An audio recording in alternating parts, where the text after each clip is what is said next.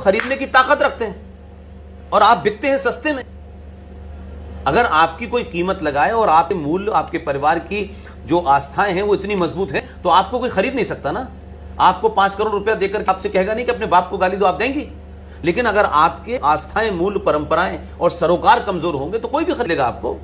हिंदू बिकता है सबसे पहले, इसलिए दिल्ली में एक महीने का बिजली का बिल दो रुपए किलो चावल मिलने से हमने सत्ता में बैठा दिया। अब वो हज हाउस बना रहा है। अब वो मुसलमान मौलवियों को तखा दे रहा है। अब रोहिंग्या मुसलमानों को बसा रहा है। तो आप चिल्ला सकते हैं। तो भी वोट तो हिंदुओं ने दिया था क्या सारी सत्तर सीटें जो दिल्ली की हैं, वो मुसलमानों की वजह से जीत गया वो। दो, चार, पाँच सीटें जीता होगा। तो हिंदू कौन सा हिंदू? तो कौन सा हिंदू को आप कहेंगे कि ये राष्ट्र के प्रति समर्पित है या नहीं?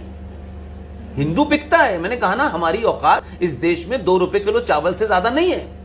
हम अपने आप को महान दिखाएँ बहुत, परोपकारी दिखाएँ हम। हम झूठ बकारी पे खड़े हुए लोग हैं। लिहाजा केजरीवाल जैसी मानसिकता सत्ता पर रहने के लिए इससे पहले भी लोग यही कर रहे थे। इसीलिए इस देश में माइनॉरिटी कमीशन बना, इसीलिए इस देश में वफ प्रॉपर्टी बना, इसीलिए इस देश में सच्चर कमीशन बना, इसीलिए इस देश में एजुकेशन बोर्ड ऑफ़ मुस्लिम बना, इसीलिए इस देश के संविधान में धारा चौदह का उल्लंघन करके धारा 25 से 30 दी गई। वो दलों की कमी नहीं है। हिंदुओं में सबसे ज़्यादा दलाल मिलते हैं, हिंदू जल्दी बिकते हैं। इसलिए आज की पीढ़ी के सामने सवाल है कि हम किसके साथ खड़े हों? इसलिए मैं ये मानता हूँ कि एक कई लंबे समय के बाद, सात आठ सौ साल के बाद पहली बार भारत के नौजवान हिंदुओं ने अपने हिंदू होने पे नफरत नहीं है कॉम्प्लेक्स नहीं है, उन्हें गर्व है।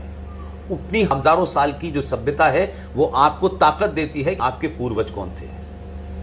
सब आपके पूर्वज बिकाऊ नहीं थे। लेकिन इतनी लंबी मेहनत के बाद जो आज की जनरेशन में लोग आ रहे हैं, उस वजह से एक नया नैरेटिव हो रहा है। इसलिए आज आप ये सवाल पूछ रही हैं। दस साल पहले तो ये सवाल भी नहीं लोग करते थे एमयू के बारे में। जानते ही नहीं थे।